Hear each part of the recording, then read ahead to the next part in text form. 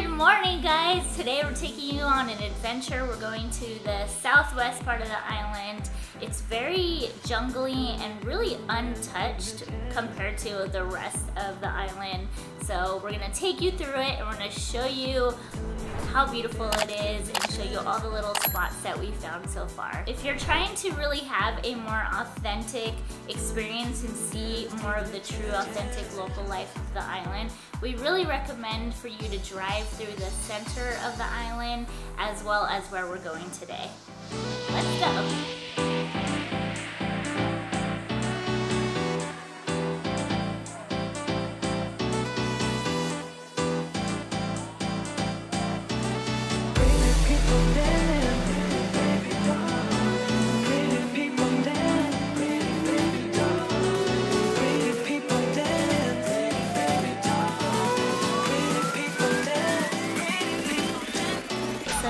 Our first stop. It's called So Cafe Samui or also Tea Time. It's like a couple different places in one and we're gonna try it out for the first time so we'll let you know how it is. We got macaroons, um, an almond cinnamon bun, matcha espresso, and Nico got a salted caramel macchiato.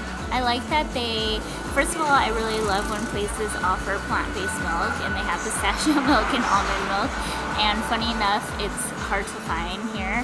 And second, I like that the macaroons are almond based, so I think that's really different. And the cinnamon bun is almond based too, so we'll see how it is. We got passion fruit blueberry and coconut mango. So Both are mine. I like the mango coconut. I love mango. I like the passion fruit blueberry.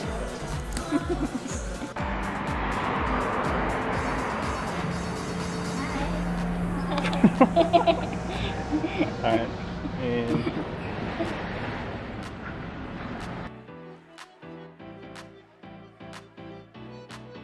We are here at Otteri Laundromat. This is usually where we do our laundry. They have like three or four locations on the island.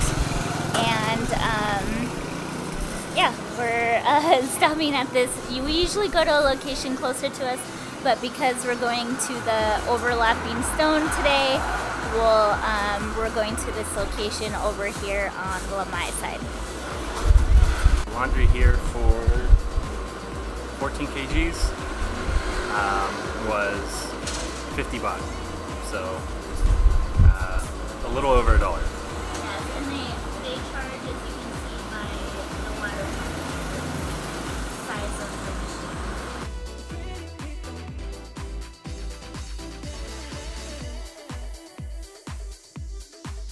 Now this is a perfect example of what we like to see. Cows. Cows and just natural life happening. Looks like you park here with your motorbike and then follow these signs. We're gonna try.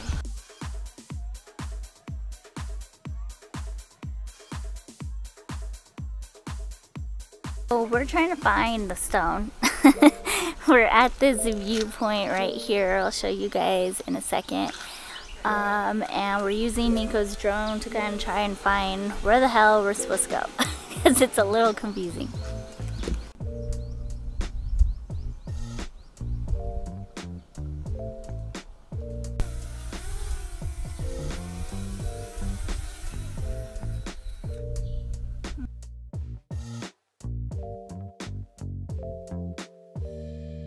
So we found it finally, but it looks like it's kind of turned into a whole tourist Disneyland kind of thing where you have to pay and wait to your turn to get like pictures by the stone. So I don't, I'm pretty sure it was never like this because I was reading blog articles and watching YouTubes of it and no one ever mentioned this and it seemed like people were staying like hours by the stone before where now it's like you have to allow the next people to go. So I don't know, it's not so much the thought of like pain that bothers us, but more just like that it's turned into the kind of like this not such an authentic experience. So probably gonna drone it and show you guys it that way and then find other viewpoints that are more just you know authentic and we can just like really take in the view without it being a whole thing you see this beautiful fence right here and you think oh no do not enter but funny enough it's actually where you enter and you go around this side here and the opening is right here so easy trick, but this is the entrance. Here's literally these signs are everywhere. Not really sure how legit it is. Um, but yeah, we're about to just drone from here.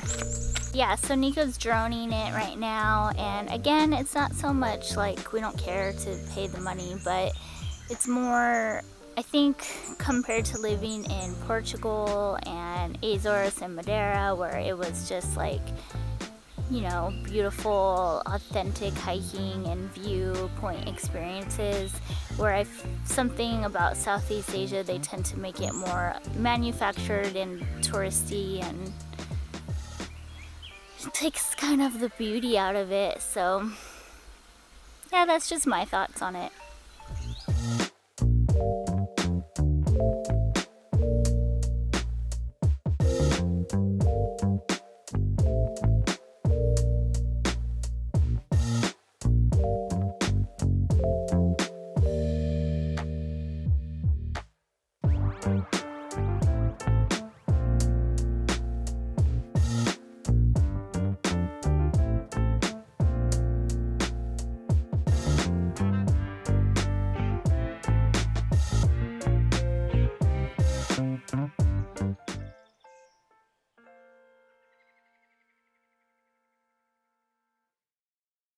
So we just stopped to do some gas.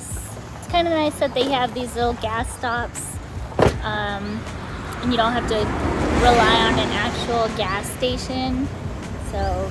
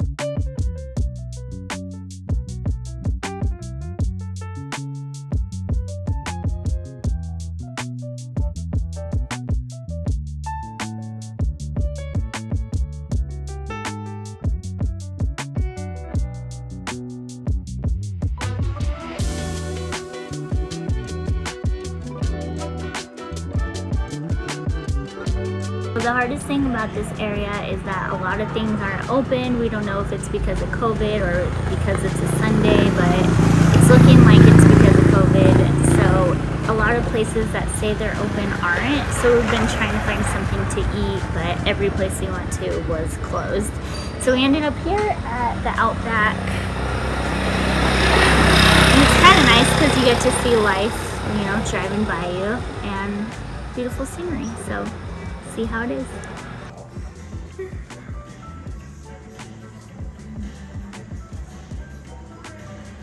Oh my god.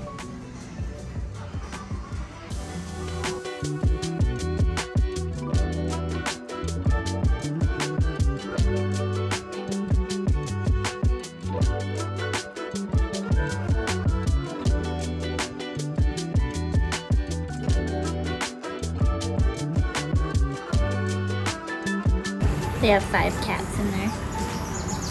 Five. We're kind of too hungry to remember to film all this, so I just know it's really good. We would rate this place, A five out of five. yes, I was gonna say 10 out of 10, same thing. So, yep.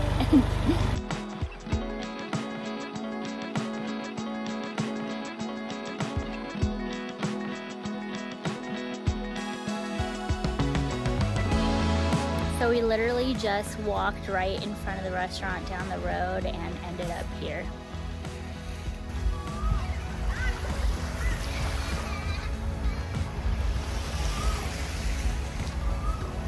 Gorgeous!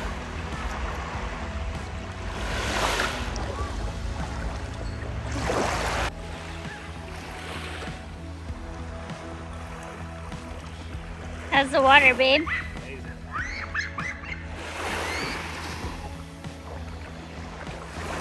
So nice to be at a beach where it's like kids and local families swimming and playing compared to the beaches that are just full of tourists. And honestly, I think this beach is way nicer than some of the tourist beaches that we've gone to.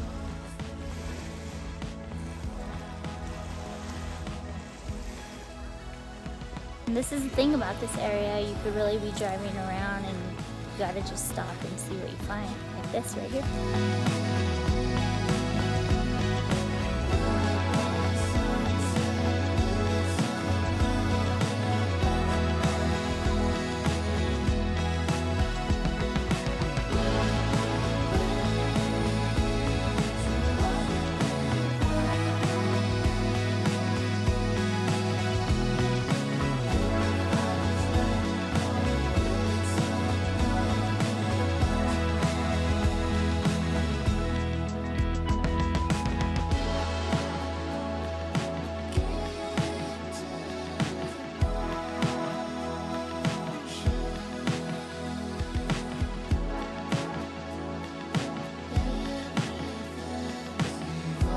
Another perfect example of driving around and just finding Whatever comes about. beautiful places on the island.